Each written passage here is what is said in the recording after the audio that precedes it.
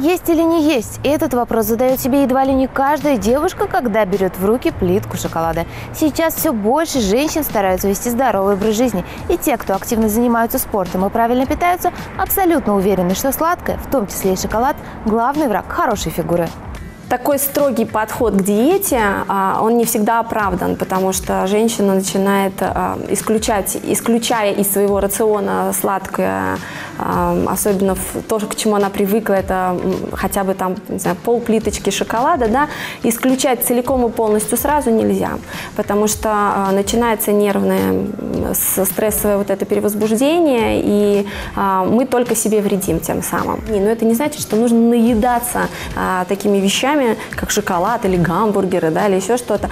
Попробовать тот продукт, который очень сильно хочется, и наградить себя за то, что ты смогла неделю или две высидеть на диете и спокойно а, позволить себе выходной день скушать, но обязательно после этого отработать съеденные калории.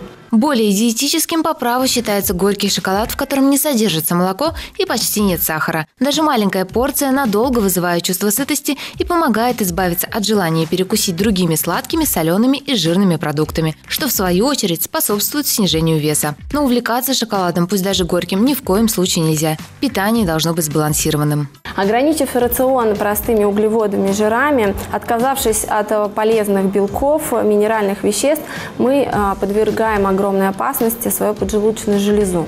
Шоколад по праву считается любимым лакомством детей и взрослых. Не только вкусный, но и полезный. Он поднимает настроение, стимулирует работу мозга, содержит кальций, железо и витамины группы В. Также в шоколаде присутствует теобрамин – алкалоид, оказывающий возбуждающее действие на нервную систему. И как и любым продуктом, содержащим сахар, шоколадом нельзя злоупотреблять.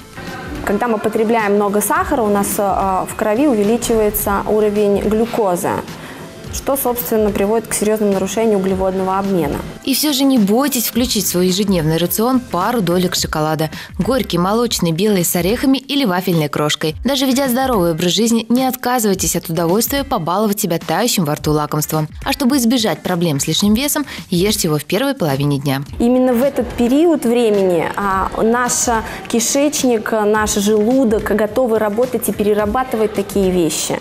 А, все, что мы съедим в первой первой половине дня. У нас достаточно быстро сгорит а, и перейдет в, в правильное русло, да, он не отложится в жир. Почему не рекомендуют и соленое, и сладкое есть именно на ночь? Потому что это самый тяжелый период для, э, для нашего желудка переваривать такую пищу. Он уже за целый день наработался, все, дальше он себя израсходовал, так сказать, да, все ресурсы свои израсходовал. И все, что мы съедим а, вечером, на ночь, это, конечно, калорийность, да, это все отложится.